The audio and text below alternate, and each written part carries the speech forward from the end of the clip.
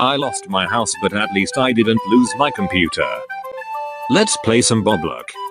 First let's buy some stuff. Oh no I have no Boblock. Let's find Boblock man.